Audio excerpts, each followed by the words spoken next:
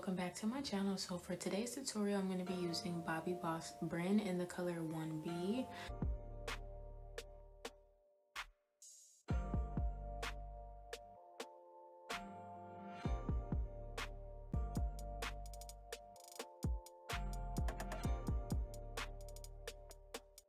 So to begin with this style, I'm just going to go ahead and part out my heart shape bang for the swoop. Um, and I'm gonna leave like all the clips in of me parting it because I literally just did like two curved parts and then I just like cleaned them up until I kind of got like the desired shape that I want. Um, and I'm also going to, I'm doing this first so that I can basically like section that um, bang part off and I wanted to make sure like that it was a good amount of hair and that it was able to tuck behind my ear because all of that is important. So it was just easier for me to just start with that part first.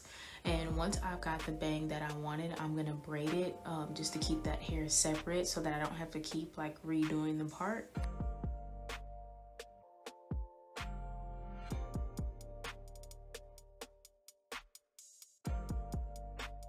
To define my part even more, I went in with my tweezers and I didn't pluck like the whole part, but there were like a few hairs that were in the way. So I plucked the part um, to define it a little more and then I cut off the lace um, where I sprayed along my hairline. And after this step, this is when you want to um, tie down your elastic band once your wig exactly where you want it to. So immediately after that step, I went in to start doing my baby hairs and you can do this without baby hairs. Um, I just, I prefer baby hairs. So I went in and separated like a small section of baby hairs.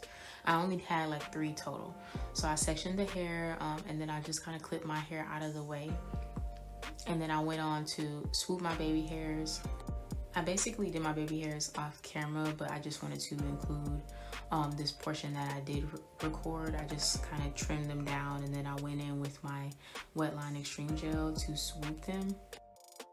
I'm gonna go ahead and unbraid my bang and kind of like swoop that across my forehead and just see how it looks and see how well it tucks behind my ear. And if I need to like take away any hair or add any hair. And at this point, I'm just kind of like playing with the bang and like combing it and smoothing it out just to make sure that it like lays flat against my forehead and there's no like lumps or bumps in it or anything like that. And once I've got it exactly how I want it to be, I'm just gonna bobby pin it right behind my ear. If you wanted this bang to last a little bit longer, I definitely would recommend going back in with that adhesive, um, that Ebin adhesive spray and spraying your bang so that it's kind of like hard and it's kind of like molded um, in that position, in that swoop. I wasn't keeping this style for Valentine's Day, so that's why I didn't use any spray. But if you are looking for that hold, I recommend um, either that or mousse. And then once I got the bang where I wanted, I'm just gonna go ahead and pin pin the hair in place and then I unclipped the rest of my hair and I just went through and detangled it with my vent brush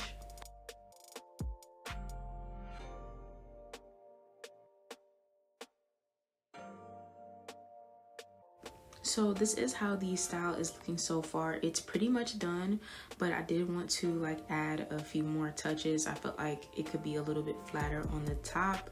So next i went in with my wax stick and my curling wand and i just kind of put that around the part and then i just went through with my curling wand just to kind of like flatten that out and just to you know tame any flyaways or anything like that.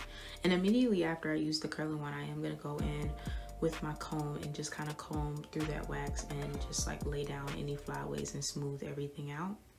Next, to define my part, I'm going to go in with the LA Girl Pro Conceal in the shade Toffee. And I'm just going to apply that to the heart-shaped part um, using a brush. You don't have to add concealer to your part because the scalp, the fake scalp that the wig comes with, it's pretty natural looking, but I wanted mine to pop a little bit more.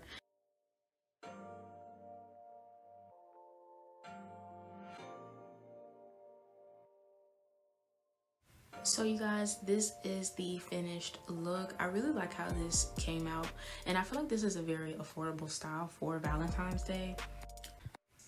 I also would um if you don't like the fake scalp you can cut it out. I didn't mind it but if you were wanting to like pluck the hairline or anything like that it would be difficult to disguise the fake scalp that's underneath.